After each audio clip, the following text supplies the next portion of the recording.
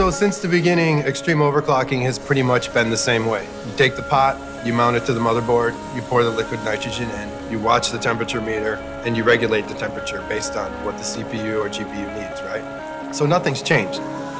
I'm Vince Lucido, Kingpin.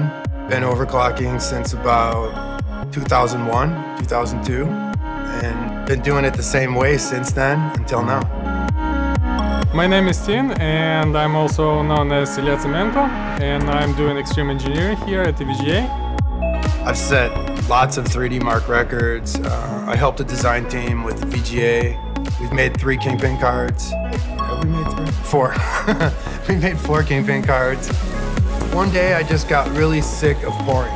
And I said, hey man, let's do it. You know, this, this thing we always talk about forever. So we sat down and we sort of drafted out everything, what we'd need. I started testing the valves, I started testing the blocks manually. First I was kind of skeptical because we were talked about this for maybe like seven years before I get even to EVGA and work with Vince together in the same lab. We started out with just a lot of conceptual stuff and drafts and drawings. Tin made a manual controller for me. We modded that Mortal Kombat controller, but it still relied on a human to activate it and control it. So that's how we started this uh, crazy project about doing the automatic LN2 cooling system. This machine will use a lot less LN2. So it takes some ideas from the water cooling world, some ideas from the extreme overclocking world, mix them together into one, one crazy system.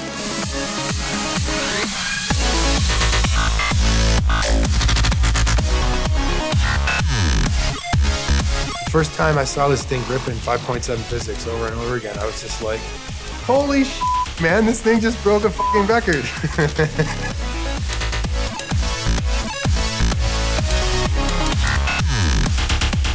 this block has a very high capacity. It's actually able to push KP 1080 Ti to the absolute limit. In fact, it can push any GeForce card to the absolute limit. It allows to push the system harder and do it with the less work involved the old way just doesn't beat it. And, you know, everything evolves, and this is a great evolution of extreme overclocking. This machine has broken five single card VGA records. I want to get this to a point where it's very plug and play. So anybody can take it and you're benching, benching for records.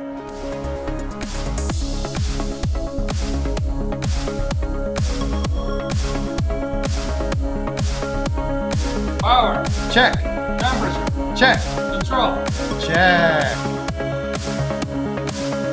Leave me alone, I'm benching.